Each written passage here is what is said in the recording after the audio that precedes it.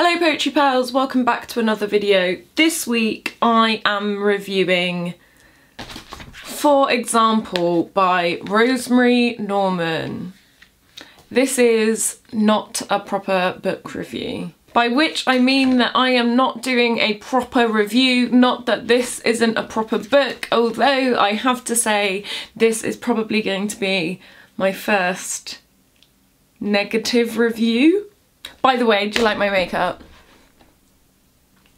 I just watched the Shane Dawson video with Eugenia Cooney and uh, had to do the old blue lips, blue lipstick, blue eyeshadow. Anyway, for example is um, a collection by Rosemary Norman and it is published by Shoestring Press. It's her third full collection and then she's had a couple of pamphlets as well. Um, Although it's not a very long collection, it's only 30 pages or so, so I would probably argue that this is kind of a pamphlet, but whatever. I bought this in uh, the Amnesty Bookshop. So it was published in 2016 um, and she's had work published in Ambit, The Delinquent, uh, The Interpreter's House, London Grip, The North, The Rialto, The Shop, Smith Knoll and South Bank Poetry. That's a nice little uh, it's a nice little acknowledgements page there. So on the her blurb, she says that um, with video artists, she makes poetry films where the fil poem is image or soundtrack and sometimes both. Their work is screened regularly at film festivals and can be viewed on Vimeo. So um, that does sound interesting. I like consuming poetry in different ways. Um, so let's get into this book, shall we? Um, I would argue that it is a small book or a large pamphlet and Let's talk about aesthetics. So I actually quite like this cover. I think it is uh, simple, although I would, so it's called For Example, and they've got the 4G, the EG written here. Uh, I would argue that just get rid of that because I like the colour and I like this sort of plain text. I think it's a really nice opening cover. Um, the back looks uh, kind of nice, although um, I just, I don't know how people feel about the poet poet's um, or author's photo on the back of the book, um, but uh, I just argue just look at the damn camera if you're going to have one at all, but whatever. Inside, the font is nice and I think the layout on the page is okay, although there are a number of um, poems that I didn't realise go on to the next page because of how they're laid out. Oh yeah, so here's one. Um, the poem Bluebeard comes down to that far on the page so you think oh well that's not even most of the page so I'm gonna that's it. And then you turn the page and there's still more left. So there's a couple of bits like that where it's really inconsistent like the length of their poems because there are other ones that go on you know a lot longer and, and take up the whole page and then don't go on. So um that irritated me. This book irritates me. So here's the real reason. The structure of it.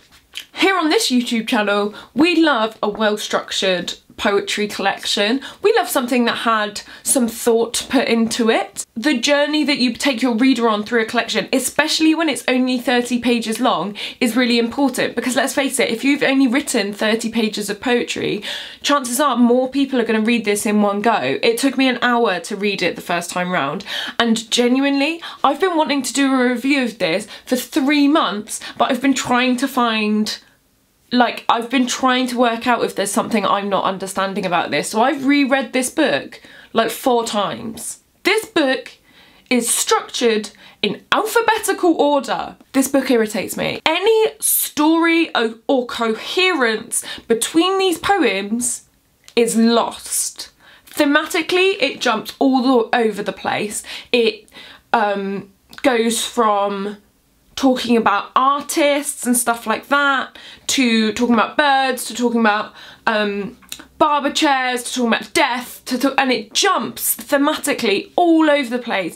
And it is so, so annoying because uh, I genuinely considered um, getting all of the titles of the poems and reordering them how I would what how I would order them to like take you on a bit more of a thematic journey, um, maybe some coherence.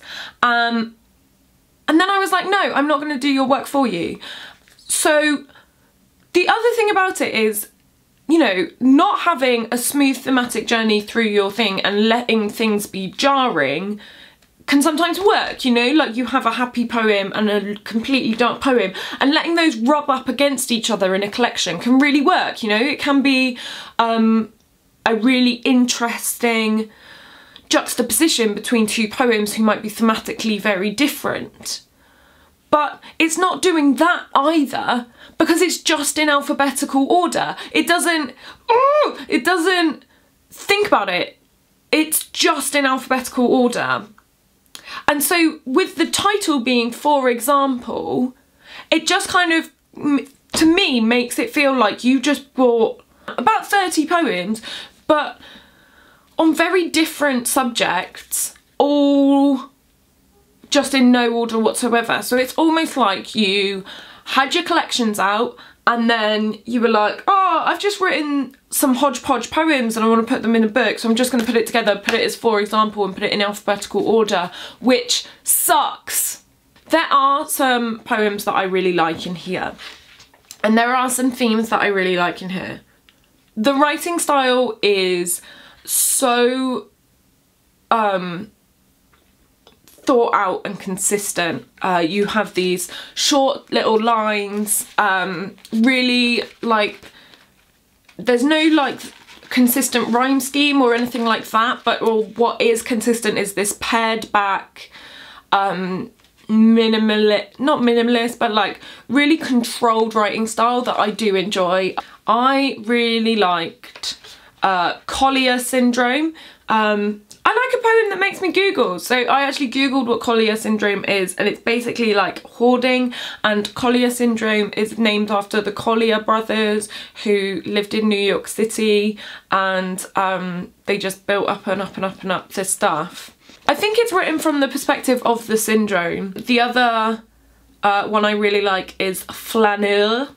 Um, so Flaneur is uh, shit, I better get this right. We studied a bit of it in um, the nature and travel writing. Flaneur is like a French art movement.